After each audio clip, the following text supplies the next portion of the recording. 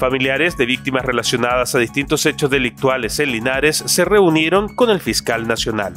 Tuvimos una reunión en la mañana eh, con un conjunto de familias o de representantes de ellas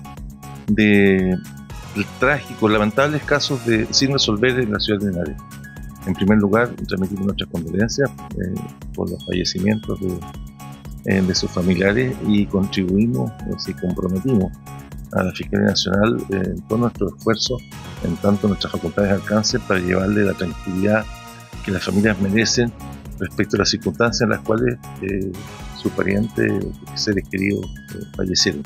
Tomamos conocimiento de estos planteamientos, de las peticiones de nuevas diligencias, de un posible eh, cambio de la o el o los fiscales a cargo de las causas y nos comprometimos con ellos a pedir informes eh, respecto a estos casos a los fiscales correspondientes por el efecto de tomar una decisión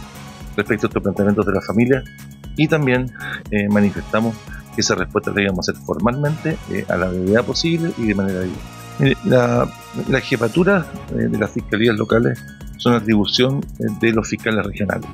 Eh, son los fiscales regionales los que definen sus equipos ¿no? y, y quiénes son las personas que cuentan con su confianza para encabezar el desafío de las fiscalías locales. En general, propendemos a que haya renovación en ellas, porque siempre es saludable que sí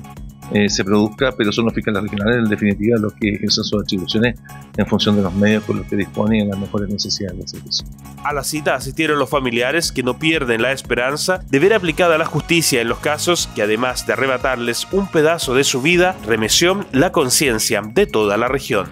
Bueno, pues es satisfactorio y antemano agradecerte a ti, Salina, a Marcelo Campos, a la señora Jimena Rincón por todo el apoyo que hemos tenido y se dio esta estancia gracias a las gestiones de ellos.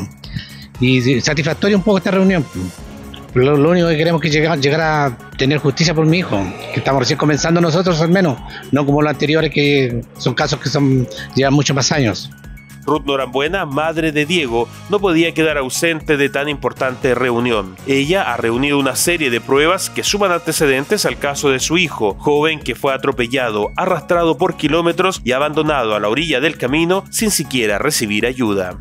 Sí, eh, así es, estamos acá en Santiago con el fiscal nacional para, para ver nuestros casos, porque en Linares son muchos los casos que están sin resolver. Eh, yo en lo personal, eh, el tema de mi hijo Diego Vázquez lo, lo estábamos viendo con la fiscal con la fiscal Carmen Gloria Camaño, eh, después de irregularidades y sin resultados en relación a todo lo que todas las pericias que se hicieron y no todavía no tenemos un culpable,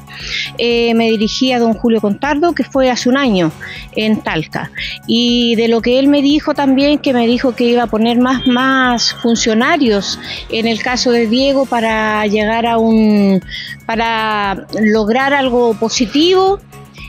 y bueno, no ha pasado nada hasta el momento, así que ahora estamos acá eh, con el fiscal nacional para, para ver qué, qué, se puede hacer y si, bueno, sería lo ideal que, que, que se reemplazara a lo mejor la fiscal, a lo mejor si nos tomaran o otro fiscal en nuestros casos eh, y viera otra perspectiva del, de, de, todas las investigaciones que se han hecho, quizás llegaríamos a un buen fin. Ese es el objetivo y contentos porque logramos, eh, logramos contactar al, al, fiscal nacional y él nos dio el, el apoyo. Otro caso que consternó a la opinión pública fue el de Gatita Vázquez, joven que apareció fallecida en extrañas circunstancias. Su hermano, que por años ha luchado porque la verdad salga a flote, también fue atendido por el fiscal nacional.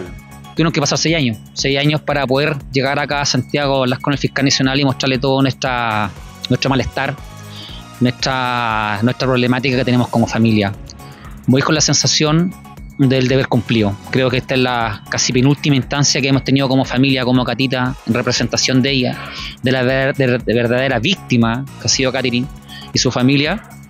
Y me voy con esa sensación, esa sensación de haber sido escuchado,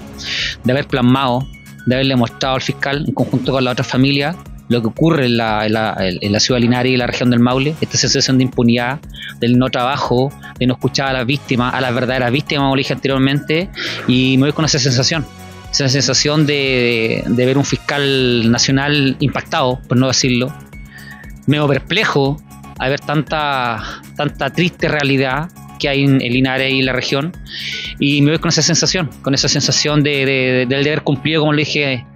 unos, unos, unas semanas, unos meses atrás. Esa sensación de, de cuando esté Catita sepa que, que hay una familia, que hay un hermano